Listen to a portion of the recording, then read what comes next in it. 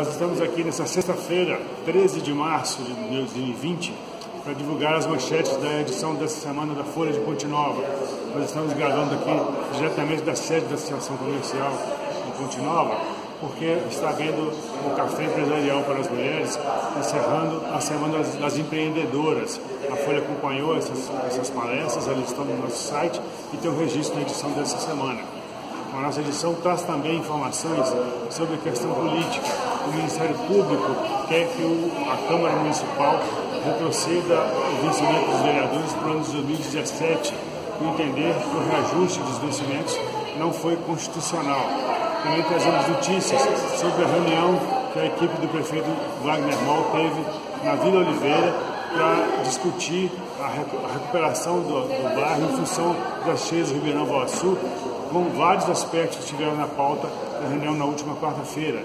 Também trazemos informações sobre o início do Parlamento Jovem de Ponte Nova, com a palestra da professora da Faculdade Dinâmica, com oportunas reflexões sobre a questão ambiental.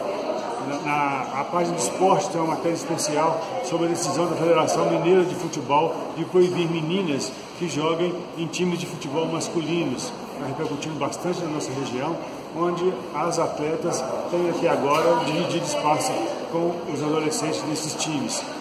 Também na nossa edição, informações pertinentes na área de polícia. Um, um continuamente radicado no Rio de Janeiro foi assassinado em Duque de Caxias e foi secretário de Ponte Nova, mais uma cena da violência carioca que repercutiu aqui.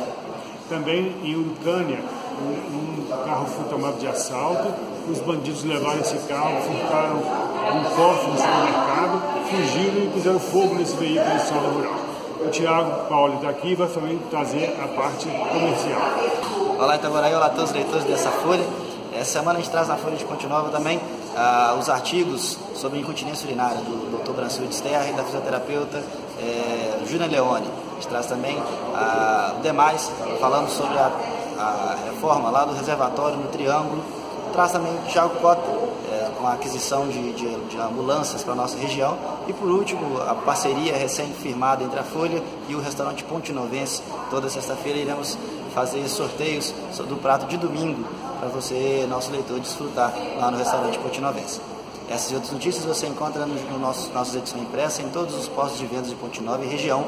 Se você ainda não é nosso assinante, entre no nosso site www.folhadepontenova.com.br e faça o cadastro gratuitamente por um período de Folha de Ponte Nova, compromisso com a cidadania.